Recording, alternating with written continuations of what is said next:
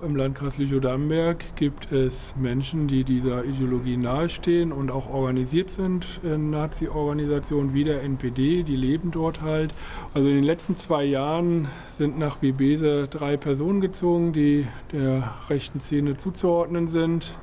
Die leben dort und das hat sich da zu einem Treffpunkt der Szene ähm, etabliert. Jedes Wochenende kann man dort halt Neonazis aus unterschiedlichsten Gruppen und aus unterschiedlichsten Regionen Norddeutschlands auch antreffen. Ja, in Mecklenburg-Vorpommern ist die Nazi-Szene dort natürlich wesentlich stärker als in Niedersachsen, speziell im Wendland. Ähm, aber da haben wir das eben, dass Nazis gezielt ähm, in bestimmte Orte ziehen, dort siedeln und zum Teil ganze Dörfer übernehmen und alle anderen Menschen dort verdrängen. Ähm, das wollen wir halt darstellen, wie es eben da aussieht und wie die Menschen da auch eben mit leben müssen und wie auch Widerstand aussieht. Das soll im einen Teil der Veranstaltung deutlich gemacht werden.